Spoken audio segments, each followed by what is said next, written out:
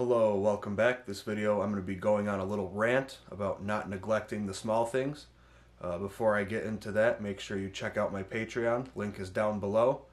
Uh, you can get access to my new raw power building template. I release a four week template on the first of every month and it only costs $5. So once again, links down below. Make sure you check it out. Thanks. So recently one of my clients, uh, he was skipping his bird dogs and his dead bugs and that sparked this video idea.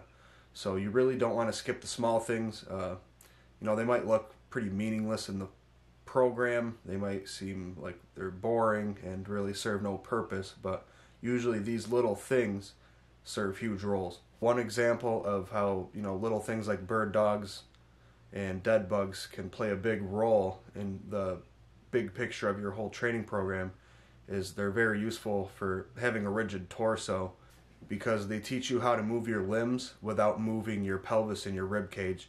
You know, if you keep those two things still, your back will stay flat on the floor while you are, you know, moving your arms and your legs as you do in the bird dog and dead bug. Once you get good at bird dogs and dead bugs, it really transfers over to the squat and deadlift and teaches you how to keep your rib cage and your pelvis in a proper position in order to maintain a neutral spinal position. And that's going to go a long way towards uh, keeping you safe and free from back injury. Now, another thing that I see a lot of people skip is the warm up circuits, you know, or any kind of movement prep work. So, a really good way that I like to train it is, you know, doing some uh, deep dumbbell pressing uh, some single arm rowing, uh, a little bit of tricep work to get blood in the elbows, and last but not least, uh, rotator cuff work just to get the shoulder girdle warmed up.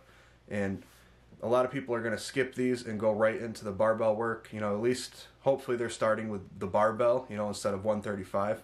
But, anyways, going back to the main point here, um, doing these warm up circuits is going to help activate your key muscles and get you prepared to do the primary work that is to follow. So, on to the third thing that might seem pointless but actually plays a pretty big role is doing isometric holds.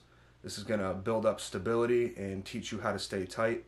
Some of my favorite isometric holds are uh, with a band pull apart and just holding it at the end, or uh, doing a single arm face pull, holding it at the end. Ones that carry over very well to the big lifts, uh, say you're doing a isometric pin press, where you have the pins set somewhere in the mid range and you know you have the bar on your chest and you press it into those pins as hard as you can you know generally with the isometric hold you're going to want to hold it anywhere from probably 8 to 20 seconds at the most and then on the squat and the deadlift you actually can do the same thing so you set the pin somewhere in the mid range um, on deadlift i really like it closer to the floor not really so much in the middle by your knees and the squats also uh, just a little bit lower than the mid range I'd say works best.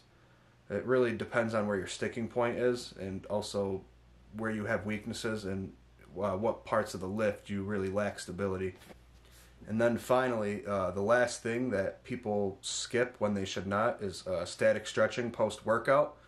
Uh, I have tons of videos covering this. You probably think I'm a broken record by now if you've been following me for any significant amount of time that uh, static stretching post workout, you know, all you really need to do is, you know, between two and three deep breaths. That's really all you need. You don't need to go crazy with it and overstretch the muscle. But pretty much when you do that after working out, it helps your body go into recovery mode sooner. And it also helps you build mobility in those stretched positions. That's all I have to say on the topic. So make sure you like the video, subscribe to my channel for more uh, drop a comment down below as well. Uh, please leave a question. I am trying to get a longer form Q&A video going on, and I have no questions yet, so you can be the first person if you drop a comment down below. Thanks for watching. Have a great day.